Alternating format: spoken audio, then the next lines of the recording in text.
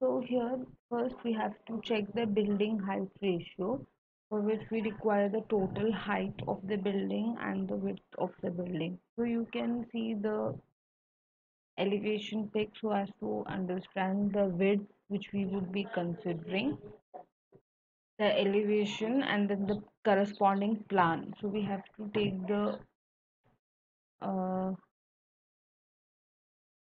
pics as reference so as to uh, decide the width value of the width that you have to go for. Uh, let us go to define load patterns wind load modify lateral load. Okay. Okay we can go to define load cases. And here you can see wind then modify showcase. And here you see the load case type mass source use preset p delta settings. Uh, this is what you get uh, as uh, default selection for okay. For okay. So get back to the stable file so the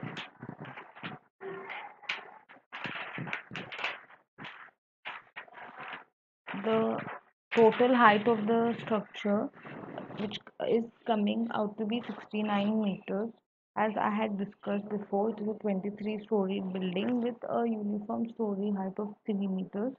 23 into 3 gives you a value of 69 meters and the width is 18 meters. And uh, uh, the h by w value gives 3.83 and that will fall in the category of h by w equal to uh, you can see this category 3 by 2 which is 1.5 so in the zone of 1.5 to 6 because the h by w that we calculated is coming to be 3.83 so it will come here. And then l by w uh, so we know that the symmetric plan is going to be 1 so we will go for the range of 1 to 1.5 and uh, you can see here 0 degrees and 90 degrees. So we will uh, go for these options. Uh, 0.8 minus 0.25 minus 0.8 minus 0.8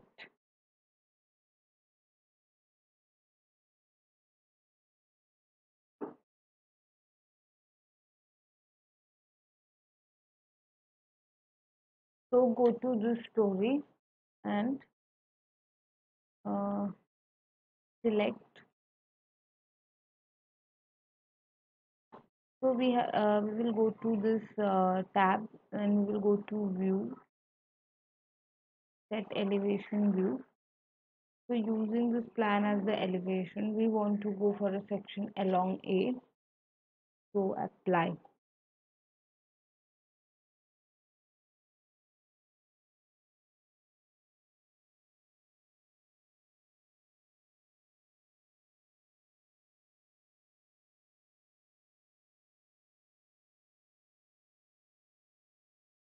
so uh, you can see this elevation which has come up. So on selecting the uh, section along A this uh, elevation has come up.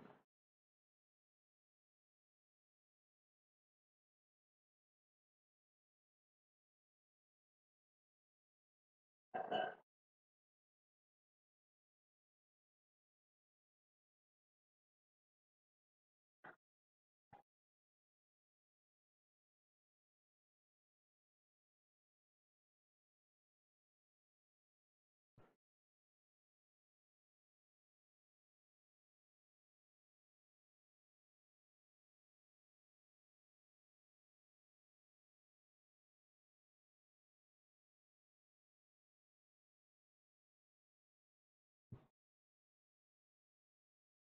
now we have the all stories selected.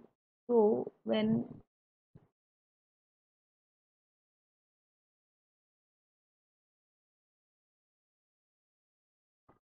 uh, we'll go to select. We have to select these shells of the auto cladding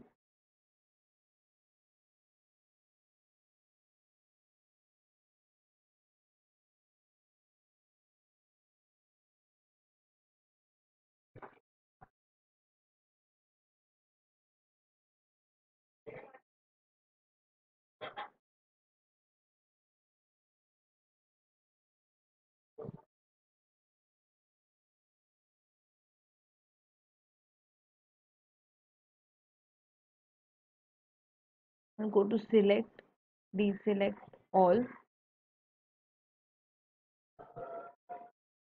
Uh, we have to select the shell.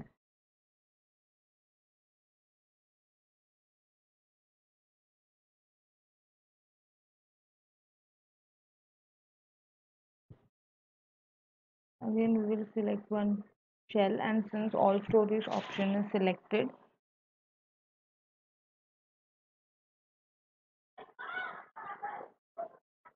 uh, the shells uh, the uh, peripheral shell of all the stories will be selected. So you can see 46 shells one two three. Uh, so you can see 46 shells being selected then go to uh, assign shell loads and go for wind pressure coefficient. So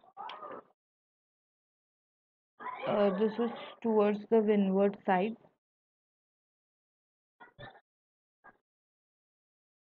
As you can see here uh, we are going for a theta equal to 0 and we are going for uh, this set of values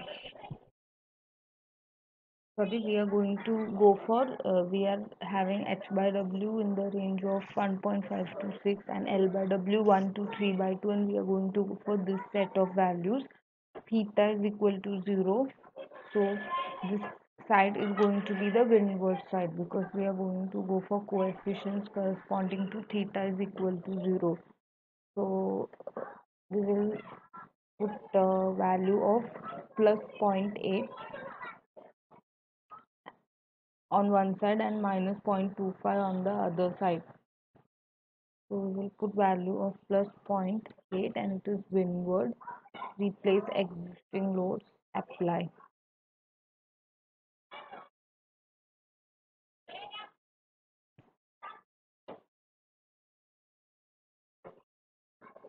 And go for okay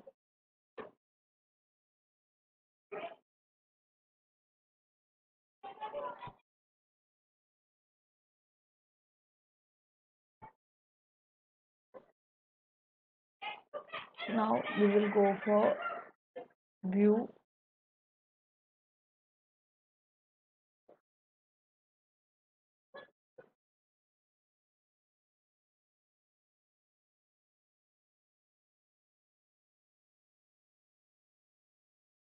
Now we will go for view and set plan view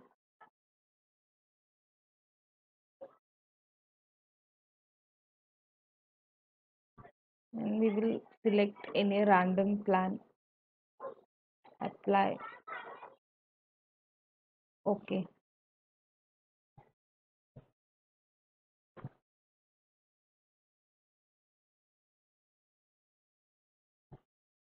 Then uh, we will go for a section along D so as to apply the other shell coefficient. So we will go for view. We will go to set elevation view. Go to D